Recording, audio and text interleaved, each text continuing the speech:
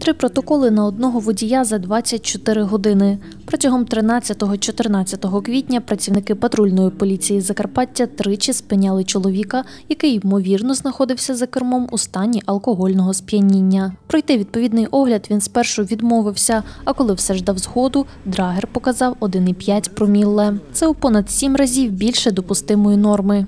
Початку року патрульні склали 279 протоколів за статтею 130 керування транспортним засобом у стані сп'яніння КУПАП. Е, За березень місяць е, таких випадків було 77. За 14 днів е, квітня складено 30 протоколів за статтею 130 керування транспортним засобом у стані сп'яніння.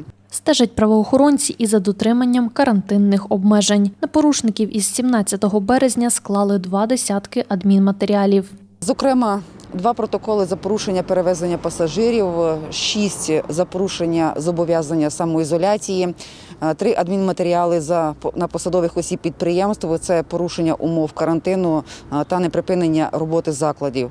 Е, Також шість протоколів за відсутність документів, що посвідчують особу, та три протоколи е, за відсутність маски.